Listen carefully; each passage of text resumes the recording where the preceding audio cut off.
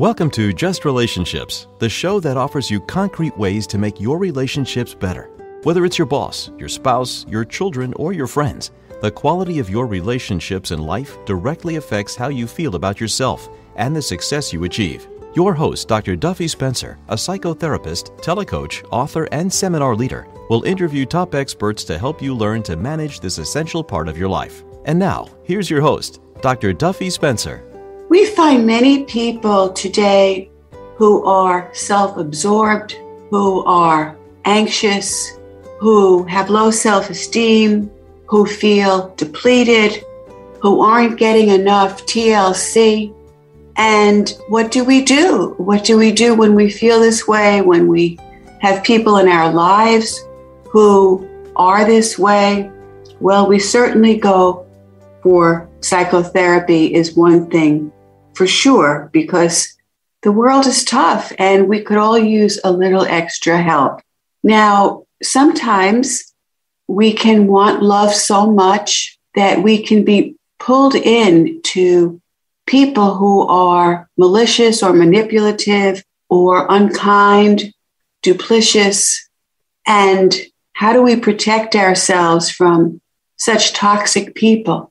Well, I am very, very pleased to have as my guest Heather Kent, who is the author of Heal from Your Narcissist Ex. Heal from Your Narcissist Ex, the ultimate guide to finding safety and sanity. Welcome, Heather Kent. Thank you so much. So, Heather, you have been practicing psychotherapy for several years now.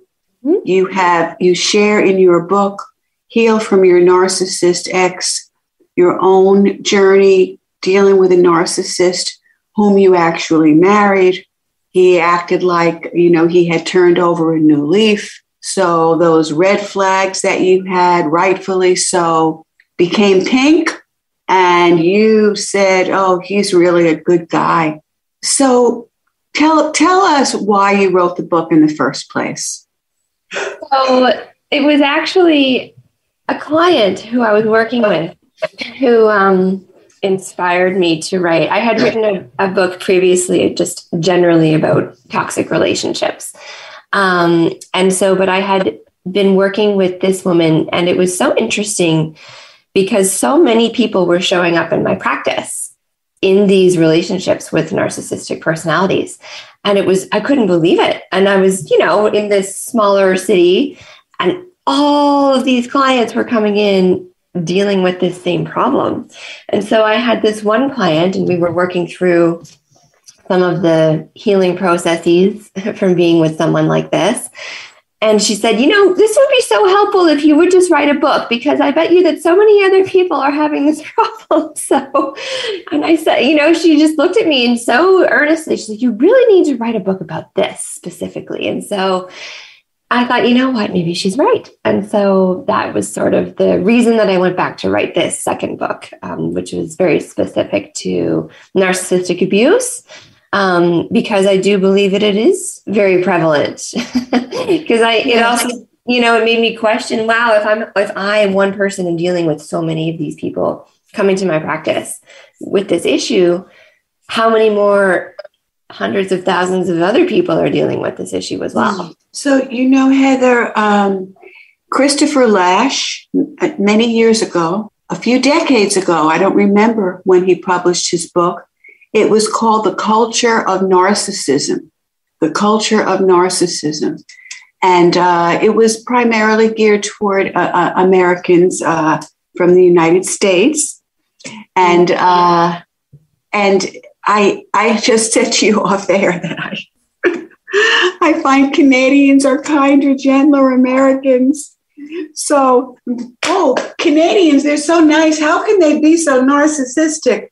But of course, if you a few people are, and what is your take on what makes someone a narcissist? What is a narcissist, and what makes someone a narcissist?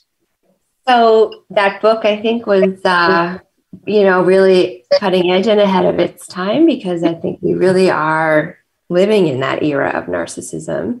um, yes. globally. Yes. Um, yes. So, yeah, I don't think it's specific to one country. And certainly we're seeing th- these personalities pop up in, uh, in many different parts of the world. And so, in terms of what what a narcissist is, I think that's also a really important question because it, it's a bit of a buzzword too.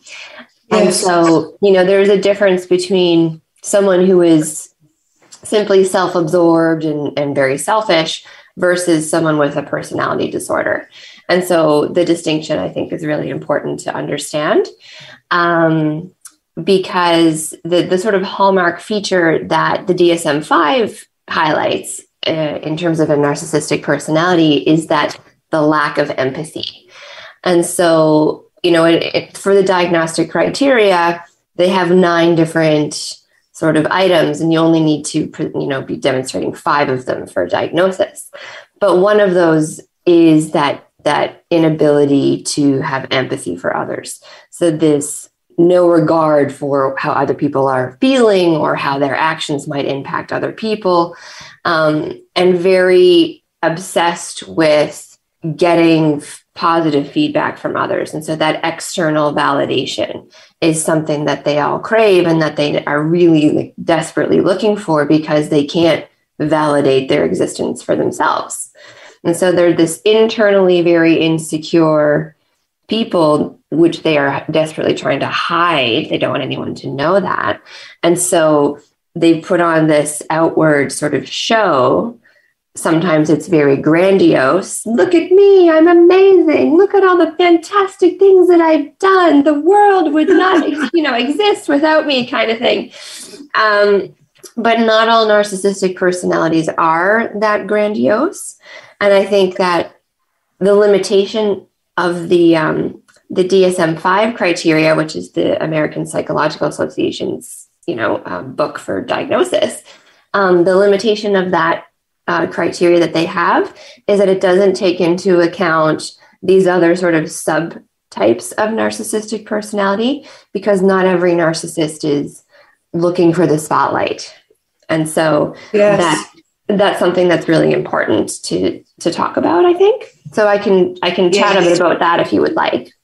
Yes, yes, it's it, I found your book absolutely fascinating and um, and I think a huge myth about narcissists is that they love themselves so much. Yes, right? it's, it's yes. actually the opposite. It's actually the opposite. They have a great deal of self-loathing and, and inner like secret insecurity. And the reason why they often lash out or accuse you of doing things that they themselves are doing, for example, or engaging gaslighting behaviors is because they can't accept responsibility for anything that they perceive as being wrong because that that would not feed this uh, mask and this you know persona that they've created to hide the fact that they actually really do not like themselves inside. And so they're desperately afraid of being discovered you know and so if they can't accept criticism they can't accept responsibility for something that they've done wrong because that then feeds that self-loathing and that inner insecurity that they have. And so they will lash out and you know deflect and blame you or you know they're always a victim of circumstance they can't take responsibility for their actions i have clients who will say what you said in your book uh, winding up apologizing to the narcissist. Oh, yes, absolutely.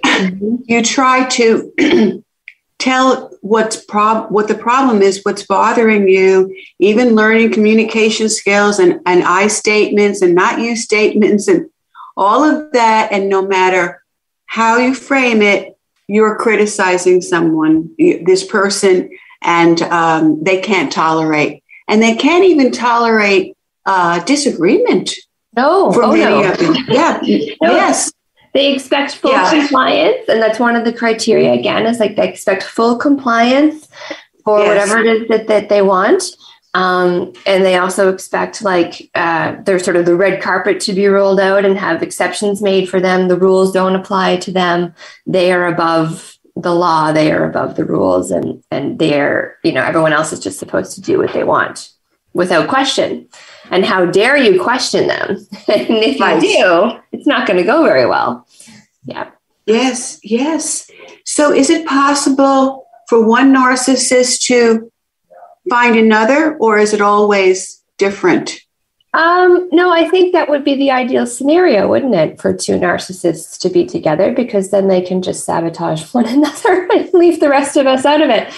Um, and so that does happen, but it's it's not as common. I do find because narcissistic personality types seek out a specific other types of personality that are going to be more susceptible to to their manipulations. So for example, they will look for someone who i mean there's actually a big list so they'll look for someone who um, has a history possibly of, of childhood abuse they look for someone who is in a period of transition so is more vulnerable they look for someone who has um, experienced uh, narcissism in their past perhaps from a parent something like that they also look for people who are from very happy families they look for people who are very, yeah, very happy families, people who are very optimistic, because those people are naive, and so they are not they haven't been exposed to such things, and so they wouldn't know what to look for. They wouldn't see it Wow. coming.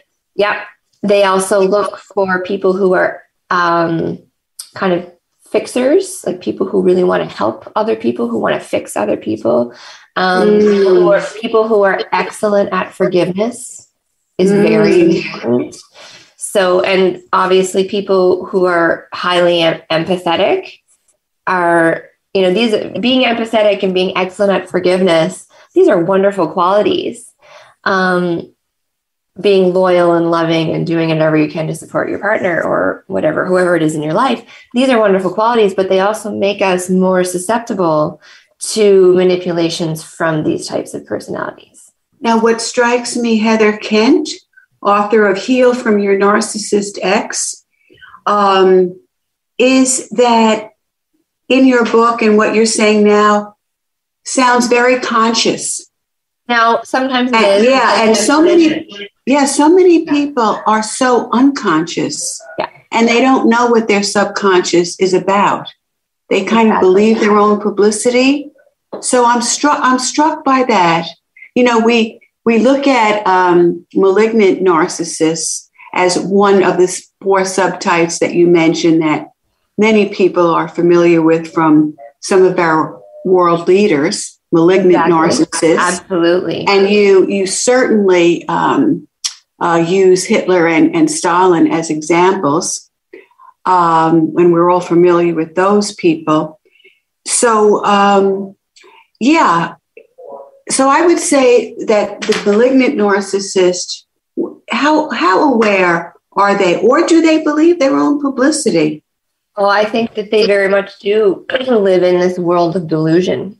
And so they, Uh-huh. they they really believe the delusions that they perpetuate because again, like they have to subscribe to that fully to you know fulfill this false self that they've created and that that that they present to the world. And so of course the the delusions that they create also fall in line with not having to take responsibility quite Right. right and so if if i'm not responsible i can find someone else to blame and that is what i will cling to for dear life in terms of my motives right and so if we Because look I- at I Yeah. can't handle being wrong or anything other than this perfect uh, illusion that I have. Okay, yes, that's all right. So, would you say that that the other three subtypes?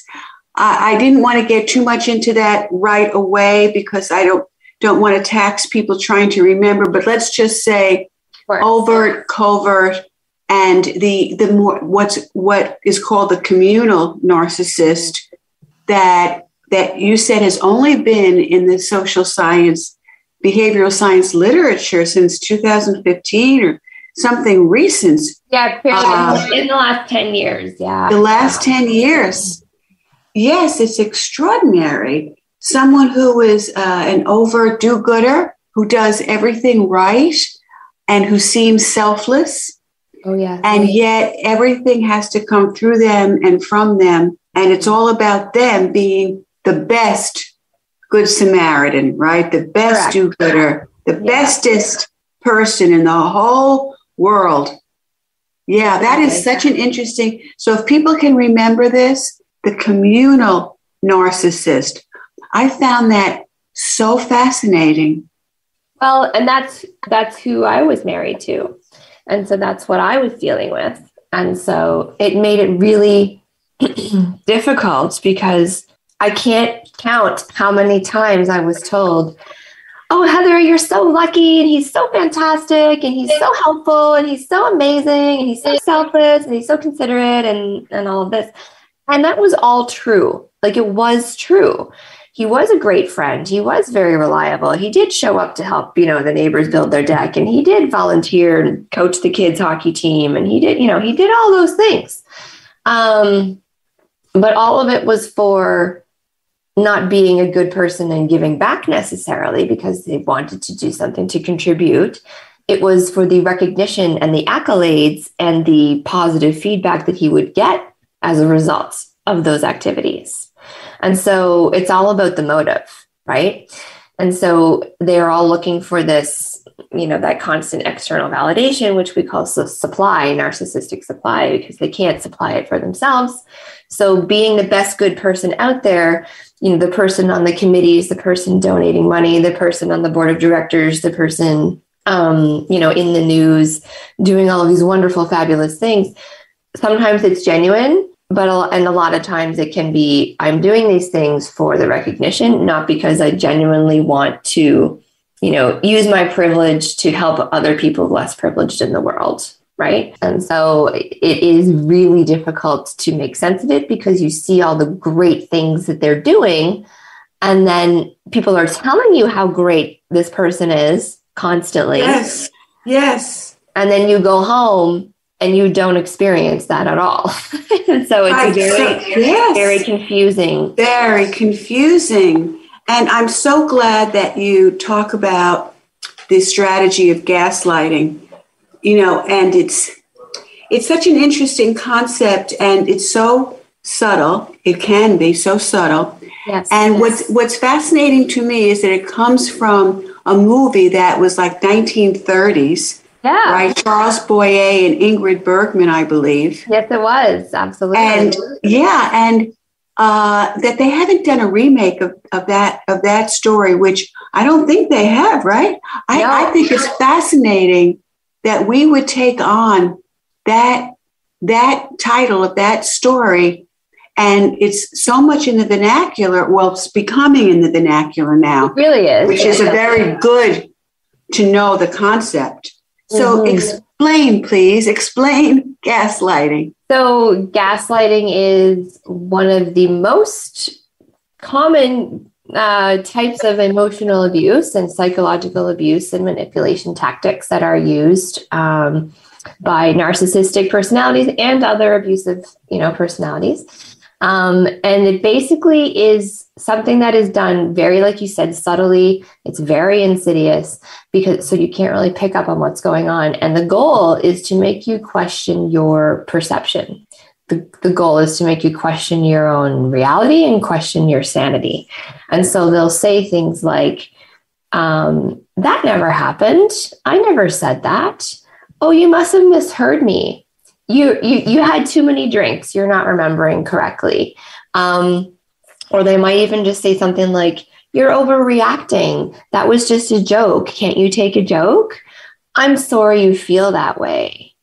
Or i wouldn't have had to do that if you hadn't have said or done this. And so you, yeah you made me. You made me. You made me do it. Uh-huh. And so and it's very like you you end up questioning like did i misremember? Is it did i get it wrong? Maybe maybe i didn't maybe i did dream it. Maybe maybe we didn't have that conversation. And you really do you start to question because you're constantly being told you know that didn't happen or you're not that's not accurate or you know you're making it up or you know you're overreacting if you're a woman, especially, you're PMSing, you're too sensitive. Um, these are the types of things that they might say, and so then you're re- all of that is with the goal of you questioning whether what you're saying is accurate, whether you did remember correctly. And so you really do start to think, oh, maybe it is my fault. Maybe I did cause the problem. Maybe it is me. And so then you do start to apologize mm-hmm, mm-hmm. to person when you are trying to confront them about something that they did that was completely inappropriate. Mm-hmm. And then they say something that really destabilizes your convictions of what happened and makes you question oh well maybe maybe i did get it wrong or maybe maybe it is my fault and so crazy making absolutely, absolutely. crazy making heather heather kent author of heal from your narcissist Ex. and this is dr duffy spencer we are just relationships whpc 90.3 so, Heather, would you just share um, the, the, the the metaphor of gaslighting? Absolutely. You, yeah. Absolutely. So, yeah, a lot of people are like, "What does this even mean? Like, why is yeah. it, why is it called that?" Um, and so, like you mentioned, Dr. Duffy, about this film that was created in the 1930s, and I think it, the film actually was adapted from a play even before that in the 20s. Mm-hmm. Um, and so, the the premise of the movie or of the story is that there is a husband and wife, and this is, of course, um, set in a period time when electricity is not prevalent in all of the homes, and so the the lights, you know, a lot of people had kerosene lanterns. Um, and sort of liquid liquid gas sort of lamps on their walls and the sconces on the walls. And so the the the lights would be turned up and down by these dials to, you know, make the flame more strong or or to dim the flame. And so what was happening in the film or in the story is that the husband would go around the house and make subtle changes to the sort of surroundings, including the gas lights. And so the lights, you know, the, the, the kerosene lamps. And so he would go around and he would dim the lamps. And she would say, Oh my gosh, did you see that? The light just dimmed. Like, what's going on? And he would say, no, no, no, sweetheart. The, the lights are fine. What, what are you talking about? No. Are you feeling all right? And so this would happen continuously over a period of time to the point where she really believes that she's losing her mind and he is suggesting I, I, I think you're unwell. I mean, I we need to take you to the hospital. We need to, you need to go see the doctor because you're you're I mean, the house is fine. Everything everything that you're saying, you're hallucinating. And so and she went crazy because the the her surroundings, her environment was being subtly changed by him on purpose. And meanwhile, he's saying, Oh, no, everything's the same. What are you talking about? And so she did start to lose her mind because he was creating that, that reality for her. And so that's where the term gaslight comes from, where you are purposefully trying to get you get someone to question their sanity, to question their perception of reality by manipulating and uh, suggesting otherwise. Yes, absolutely. It is so crazy making, Heather. It really is. And it's so yeah. subtle and it's so insidious. And it is yes. very hard to see when you are in it. Yes, yes. And in the in the story or in the movie, Charles Boyer was definitely nefarious. He married this heiress, or he thought she had a treasure in the attic. Mm-hmm. Mm-hmm. And he wanted to, he would spend the nighttime going up into the attic and looking for the treasure. For the treasure, yes, exactly. And so all of this was with the goal of manipulating her into. Yeah. And then he, she would say, I heard noises in the attic. And he would say, You're crazy. Mm-hmm. So, yes. Okay. Now, that obviously is of the variety of the Hitler Stalin you know, the the over malicious, malignant narcissist. Yeah. So like one of the four. Yeah, the difference there in terms of like a grandiose, look at me, I'm amazing, and a malignant narcissist who is who can also be very grandiose because they still they they they want the glory and the power and all of that. Yes. Um, but the difference is that they it is like they purposefully plan and they gain joy from torturing and like making other people suffer and and they will stop at nothing to destroy whoever they perceive to be their opponent or their enemy. And so that is sort of the real gateway to that the sociopathic kind of personality disorders, right? And so the malignant narcissist really is that bridge over to psychopathy, right? And and uh, because there's that not only do you not have empathy, but you actively seek and get pleasure and, and lots of secondary gains, whether they may be financial or, or power, whatever that is.